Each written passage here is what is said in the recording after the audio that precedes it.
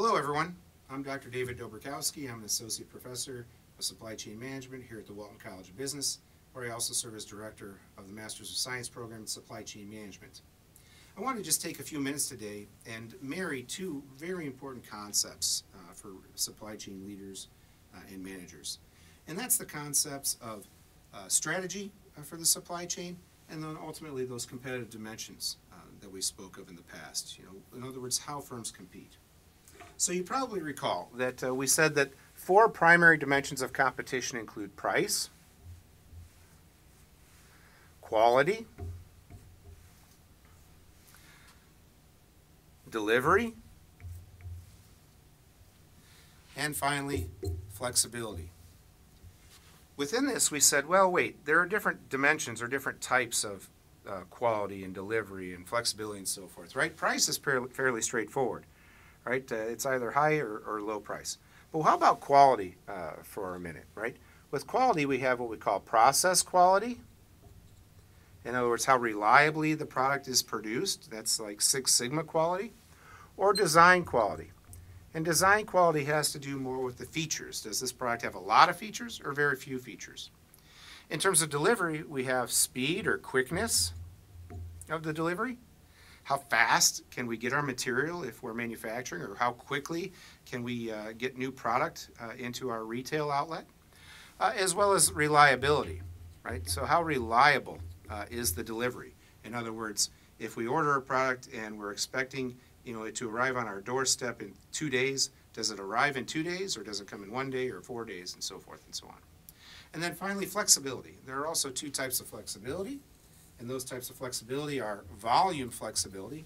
In other words, the ability to flex the amount of a product that I provide my customers, as well as variety. All right, so that's a quick snapshot of the four competitive dimensions. then we talked about two different supply chain strategies. We talked about efficient supply chain strategies uh, that are in alignment with low-cost leadership strategies uh, that uh, organizations have. These tend to have functional products, right? Um, with low contribution margins, low forecasting error, very stable types of environments, uh, and so forth. And then we have what we call agile supply chain strategies, which tend to deliver on more innovative products. This is a much less innovative. This is a much less predictable type of environment um, with higher forecasting error, uh, higher contribution margins per unit, uh, which is, can be good, shorter uh, product life cycles, and much faster paced uh, kind of environment. Well, I want to bring these two concepts together because uh, they have critical importance for how we operate the supply chain, or specifically how we ultimately select suppliers, right?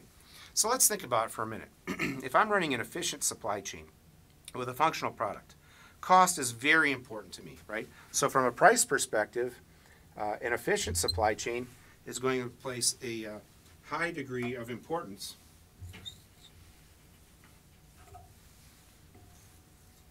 high degree of importance uh, on price uh, or cost, right? but an agile supply chain that's very interested in innovation, supporting those short product life cycles, uh, cycles driving uh, you know increases in contribution margin per unit, dealing with suppliers that can you know operate in a chaotic environment where uh, you know forecasting error is high and it's unpredictable, uh, they're probably going to face a little bit of a of a price, uh, you know, trade-off, right? So uh, from a perspective of running an agile firm, um, price probably won't carry the day in terms of being the most effective uh, or important, I should say, uh, dimension. Uh, how about quality? If I'm writing my RFP for a new vendor, a new supplier, what role is quality going to play? Well, again, if I'm running an efficient supply chain, wow, process quality is going to be very, very important to me, right? Why? Because I can't afford uh, to have quality problems. I can't afford, you know, to have a lot of scrap material uh, and so forth and so on. So I need a very reliable uh, process quality or, uh, you know, a, a, very high CPK uh, type of ratio or Six Sigma type of uh, performance, right? Um, but design quality to an efficient supply chain because we offer, you know, low variety and pro long product lifestyles, cycles, excuse me, um, an efficient supply chain is probably less interested in design quality. We don't, you know, back to, uh, you know, our, our Black & Decker drill example. We don't have, you know, uh, radical uh, and uh, you know frequent innovations in our product. We don't offer a wide variety of products. So design quality is only important to the extent that it promotes reliability and uh, lends itself well to manufacturability or process quality. Now, from an agile perspective, of course, I would always like to have um, you know high process quality, but it's not going to be nearly as important to me as design quality, right? Why? Because I am focused on innovation. I am focused on providing highly customized products. I'm focused on providing customers with uh, products that they think are cool and, and innovative. So I need to select a supplier that has high design capabilities. I mean, heck, think about Apple for a moment, right? What does Apple manufacture? Nothing. Nothing at all, right? They are a design and an innovation company. They actually outsource uh, manufacturing, right, uh, of their iPhones, Foxconn, right? So design, very important, right, to agile, less important to uh, efficient. How about speed? Uh, how about speed? Um, well, I would submit to you that for an efficient supply chain, speed is not always all that important, all things considered. What is important is reliability, right? Is reliability. In other words, you know, think about the, the uh, Fiat Chrysler supply chain for the Jeep Wranglers. Right? Uh, if I'm manufacturing uh, in batch sizes of one and I'm trying to maintain, you know, low costs, uh, I can't afford a late delivery. Right? If, uh, if I get a late delivery of instrument panels, it might shut down my entire uh, manufacturing or, excuse me, my assembly facility. So reliable delivery, probably more important even than, than quick delivery. But to an agile company, oh, speed is everything, right? Speed is absolutely everything.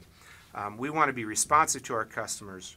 Uh, we want to have, uh, even from the perspective of more strategically new product development, um, we're very interested in in speed to the point that we will actually sacrifice uh, some reliability.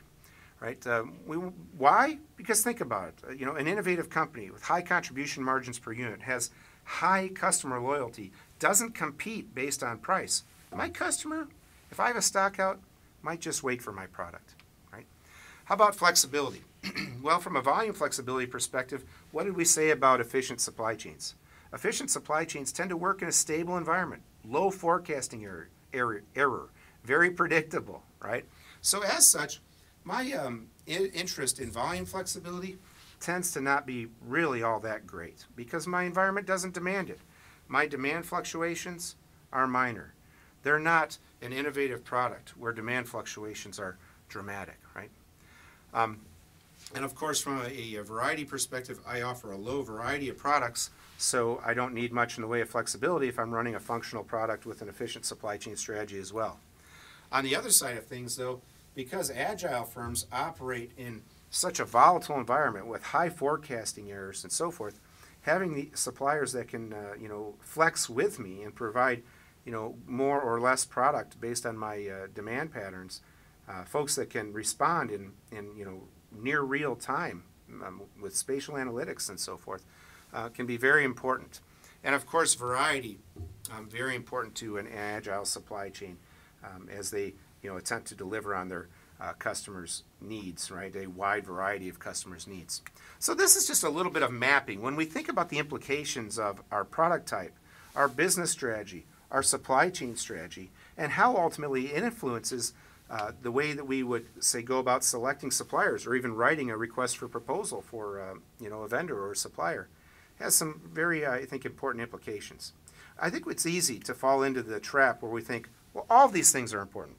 We're not going to sacrifice on any of these things. And I certainly would never select a higher priced or a higher cost supplier.